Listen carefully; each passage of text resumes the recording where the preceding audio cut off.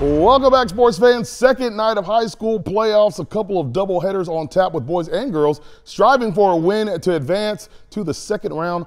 We begin our coverage in Milledgeville, Millitown. The 4A Baldwin Bravettes, region runner-ups, hosting Shaw out of Columbus. And the red and black start out on fire. Team captain Madison Ruff scores from 10 feet out with the jumper, showing the mid-range. She had 14.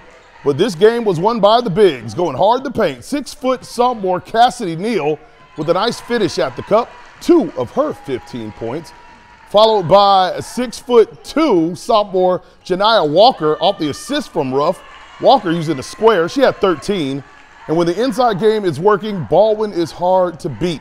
The Bravettes are on a 12-0 run to start the game, and they wouldn't look back. Walker with full court outlet to co-captain Jasmine Williams. She absorbs the foul and one. She had 10 points as well. Survive and advance. Baldwin wins big 68 to 44. Baldwin fellas up next, hosting the Cairo Syrup Makers. Nice ball movement from the three-time region champs. Ends up with a splash from Jordan Webb. Then check out this play of the week nominee, Kenneth Kelsey, with the acrobatic layup off the glass. Braves are trending in the right direction. And here's Mr. Walking Bucket, Jacoby Nixon, off the inbound pass, having quite the postseason already, keeping things moving, and just too much grit and physicality from the Milledgeville squad. Quintrell Wells with a pickpocket and the score. Baldwin sweeps. The boys win 55-50 over Cairo. A couple of scores to pass along. Dodge boys and girls sweep to move on to the second round.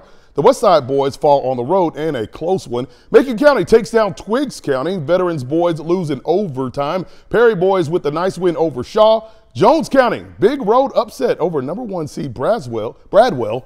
Wilco Blue Storm staying alive with the win at the Palace. And Dublin boys shock Brooks County on the road.